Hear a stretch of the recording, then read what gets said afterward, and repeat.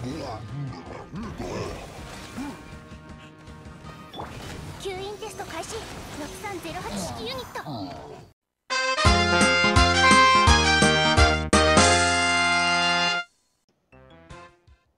よーブラザーしらせゴールドチャンネルでは原神好きのあなたのために最高のコンテンツをお届けしていきます。動画をお楽しみいただけましたらチャンネル登録と高評価をお願いいたします。公開はさせません。で本日紹介しますのは怪盗祭。こちらの方で実装された機関機関というあのタワーディフェンスみたいなゲームの攻略方法をお勧めしていきたいと思います。まずは基本的な説明を、まあ、1番でさせていただいて、まあ、2番目からおすすめのパーティー、キャラクターとそちらの使い方の説明をしていきたいと思います。あとは敵対策ですね。で、次に置物ね、置物の効率の良い置き方。まあ、置物の解説と、まあ、置き方をお勧めしていきたいと思います。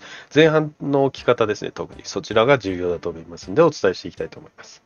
で、最後にマップのトラップ簡単に使い方説明して以上という形になります。ぜひぜひ参考になればと思いますので、最後までご視聴の方よろしくお願いいたします。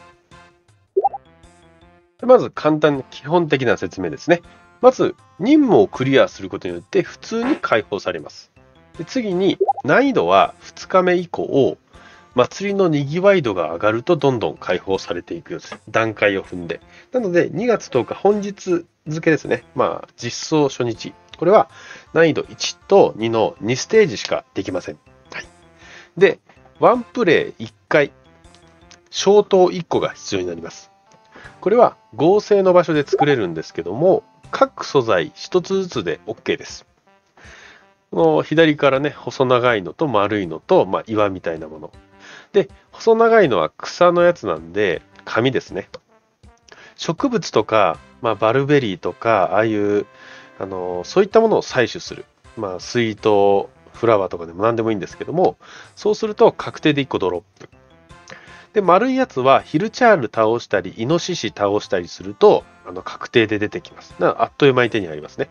で、右の鉱石みたいなものは、もうそのまんま、普通に鉱石を、まあ、水晶を取ったり、よどまり取ったり、ね。そういったものを取ると、あの確定で出てきますんで、あの集めるのは簡単。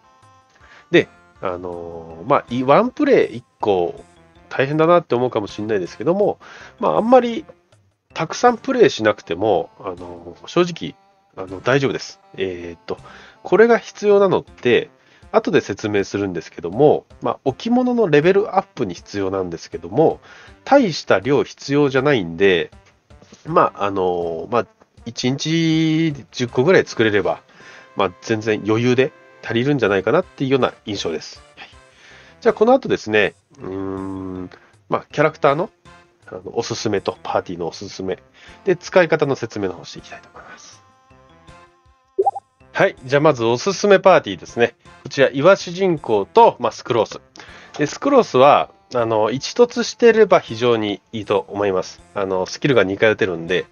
で、それで使い方としては、あの、まあ、1回やればわかると思うんですけども、あの、シャーマンとか、あの、細かい敵が結構速いスピードで走ってくるんですが、それだと、あの、置物だと追い切れなかったりするんですね。で、間に合わなかったりするんで、その時にスクロースの、あの、一発撃つと、スキルを一発撃つと、これ跳ね上げられて、動きが止まります。それで、追い打ちで、他のところから、はい、置物とかで攻撃してくるっていう形になります。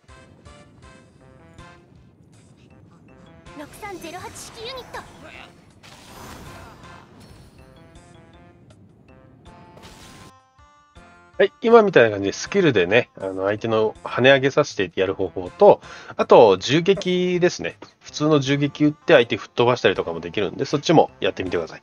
で、次は岩主人公なんですけども、まあ、丸い岩の玉、岩創造物をあの3つまで置けるんで、それでシールド代わりにして、敵がそそっちから来れなくして、まあ、でかいやつとかね、いっぱい突っ込んでくるときあるんで、そういう時に遮蔽物にして、で、まあ、配置物で仕留めるみたいなこともできます。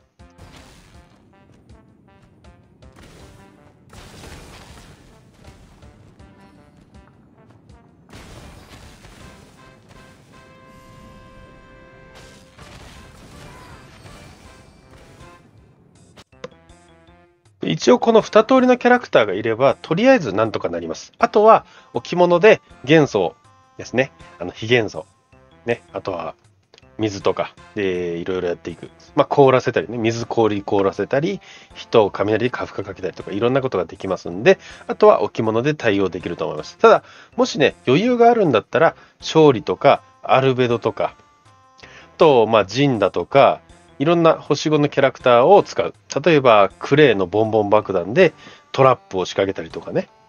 そういったこともできるんで、そこら辺は、あの、お手持ちのキャラでやってみてください。とりあえず、まあ、無課金、美課金とかであればスクロースあるんで、スクロースか、岩主人公がいいと思います。でまずは、えー、配置。置物の配置ですね。効率のいい置き方。で、置物の威力と射程距離をまずは確認しましょう。で、次は回収期間を置くところ。これは置物の射程の先に置いた方があのいいと思います。その方がその場所で敵が倒れるので、ちゃんと先の方に置かないとダメです。例えば置物の近くに置いてしまうと、射程の長い炎の20メーターの近くに置いてしまうと、あの回収期間のエリアに入る前に敵が死んでしまうので、まあ、ちょっと先ぐらいにあの回収期間は置いといた方がいいと思います。そのエリア内で敵が死んだ場合、それがあの回収するそのポイントが高くなりますんで。で、3つ目。元素反応で分けましょう。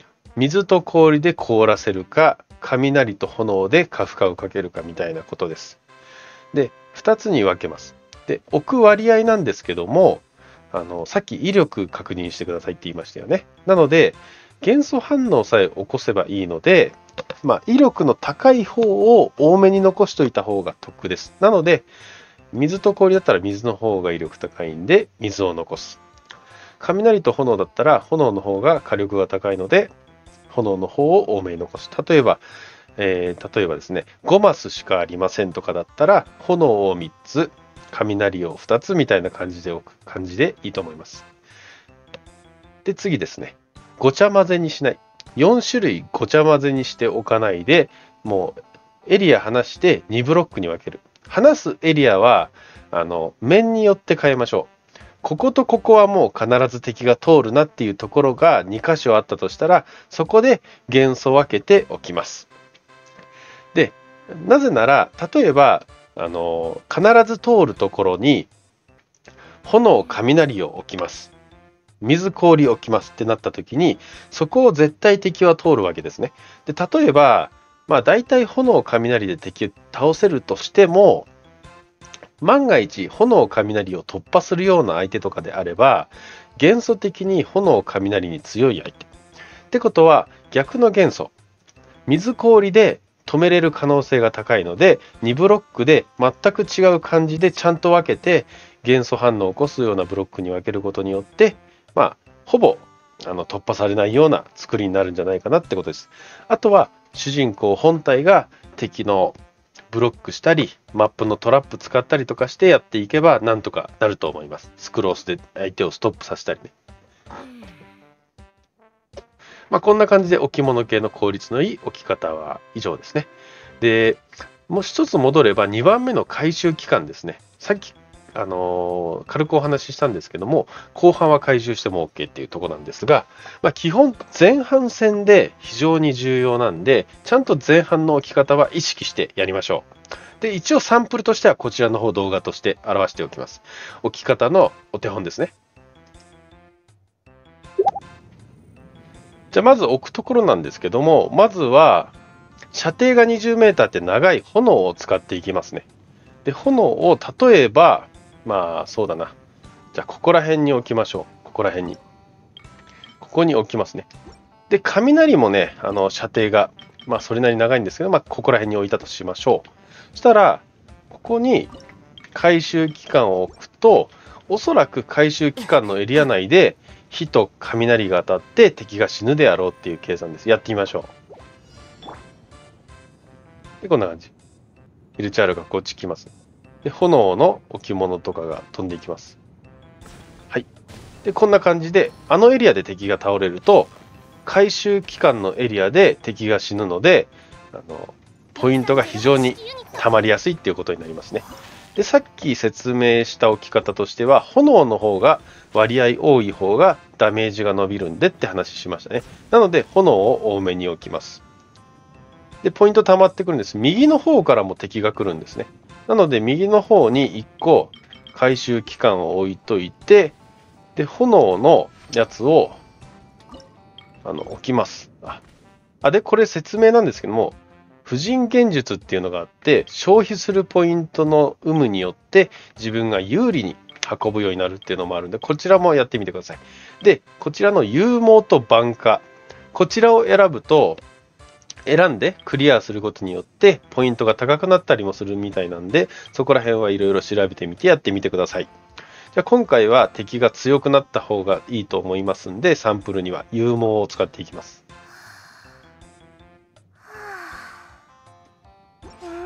で、さっき言った通り、雷よりも火の方が多い方がいいんで、火を多めに置いていきますね。で、置き方としては、こんな形で、あの、まばらになるような感じ。で、次僕ここ、雷置いてちょうどまばらになるような感じでやってみます。で、あっちから流れてきてますね。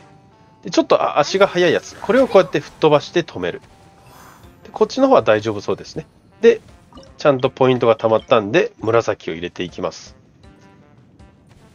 で、突っ込んでいきますね。もうポイントは大体大丈夫だと思うんで、あのもうこの2箇所ぐらいで大丈夫ですね。で、ここにまたさらに、こうやって止めながら、炎を置いていきます。で、右からも来る。もう一つここに炎を置いたら、あの次のあのフェーズにかかっていきたいと思います。こうやって止めます。はい。で、溜まっていきます。そうなると、次はここになります。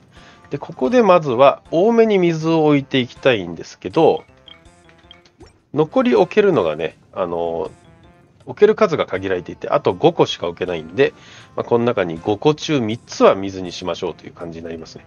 じゃあ置いていきます。じゃまず水。安全距離確認で、氷。で、ちょっと長めにしたいんで、こういう感じで置いていきます。で、えっ、ー、と、ここにこれ、あ、ポイントが足りないですね。じゃあ次。じゃあもう一回有毛でやっていきます。で、敵の有毛がかかってくるんで、ちょっと、あの、突破されやすくなってくると思うんで、ちょっとね、ちょっと岩主人公で、ここら辺で、ほら、でかいのが来ましたよね。ああいうのを、こういった形で少し止めながら戦います。で、右の方に流れてきちゃったりするんで、はい。で、こんな感じですね。で、あの、火と雷で大体止めれるんですけども、ちょっとね、空中飛んでるすげえ動きの速いやつが、まあ、遺跡ハンターですね。遺跡ハンターが来ると、あっという間に突破されちゃうんで、それは水と氷でしっかりあの止めていかなきゃいけないものになります。で、これで今、あの14個ですね。14個置くと、もうこれいらなくなってくるんで、これを取り除いちゃいます。もうポイント溜まりやすいとかも特に関係なくなるんで。で、これが関係なくなって、でも敵に突破される可能性は極力少なくしたいっていうところがあるじゃないですか。なので、今第4フェーズね。まあ、突破されないと思いますよ。思うんですけど、こう。こんな感じで置いていく。じゃあ行ってみましょう。で、今度は、あの、まあ、主人公とか、まあ、やめておきましょう。じゃあ、ちょっとここら辺、ここら辺に置いといて、はい。突破してくる可能性がありますよね。でかいやつが突破してくるかもしれない。ああ、突破してこない。突破してきたらこの先導を閉じるってやつであれ、あの穴をね、開けることができるあ、いじゃあ行きましょう。これ、ほら。ああやって落っことすことができるんで、まあ、こういったことにもね、ちょっと使ってみてください。こういうトラップは。はい。で、一応こういうところで止めて、もう来ないでくださいよ、みたいなことで、やれます。で、ここでもちょっと動きを止めながら、あそこ突破されたらまずいな、みたいな感じだったら、こんな感じね。で、ほん、こんな感じでクリアすることができると。一応参考になればっていう感じですね。これで、あの、ちゃんとほら、勇猛をやって、あの、2回以上クリアという感じで、564ポイントっていう感じになります。一応これで説明以上ですね。トラップの使い方も途中で説明できましたんで。はい、で、明日からまたどんどん解放されていきますんで、あの、生放送とかでもお会いできればなと思いますんで、ぜひぜひよろしくお願いいたします。動画をお楽しみいただきましたら高評価そしてチャンネル登録をお願いいたします。またこのような動画をいくつかアップしてますので見てくれたら嬉しいです。ではまた次の動画でお会いしましょう。グッバイブラザー。